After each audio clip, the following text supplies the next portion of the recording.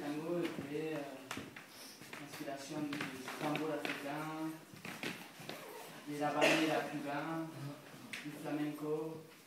On a aussi parlé de la justification.